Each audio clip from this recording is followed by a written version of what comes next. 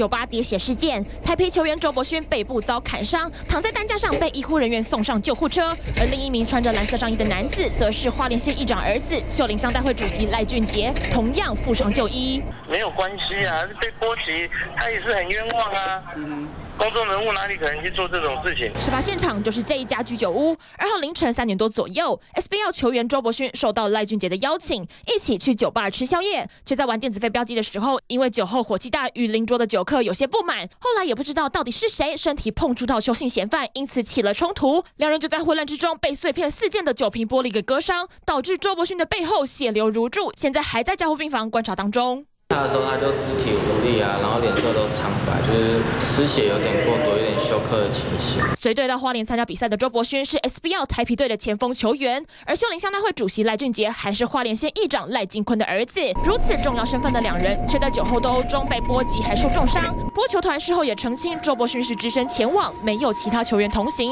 如果有涉案，将会视情况惩处。涉嫌的一方大概有十余名啊的民众。那另外被打一方大概大概三到五名。警方表示，虽然目前双方都已经撤告了，不过邱姓嫌犯是伤害罪现行犯，仍然必须移送法办。记者吴彩勋罗香华联报道。